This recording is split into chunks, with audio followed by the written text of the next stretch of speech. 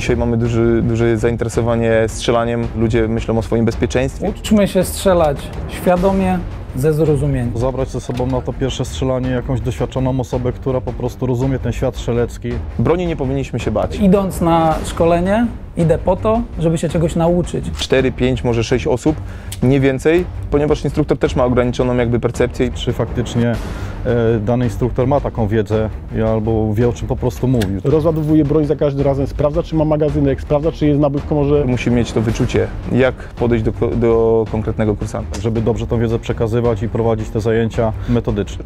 Aby jakość przede wszystkim była zachowana samego szkolenia. Sprawdzamy regulamin strzelnicy. Co wolno nam robić na tym obiekcie, czego nam robić nie wolno. Przypomnę, e, każdą broń traktujemy jako załadowaną. Nigdy nie kierujemy broni w kierunku, do którego nie chcemy oddać strzału. E, Dobrze, żeby ta strzelnica była zabezpieczona po prostu pod większym kątem. Jeżeli już dochodzi do wypadku z bronią, to najczęściej w wyniku nieprzestrzegania warunków bezpieczeństwa. To nie może być apteczka przypominająca apteczkę samochodową. Palec ma być poza językiem spustowym. Trzeba się upewnić, te warunki bezpieczeństwa są zrozumiałe. Dla mnie i dla wszystkich obok. Nie mogą być traktowane po macoszemu. No i oczywiście oceniamy, co jest e, w kierunku, w którym strzelamy. Będzie potem łatwiej pewne rzeczy zrozumieć. Uniknąć wielu błędów. Jeżeli instruktor tych zasad nie przestrzega, no to ja omijałbym go szerokim łukiem.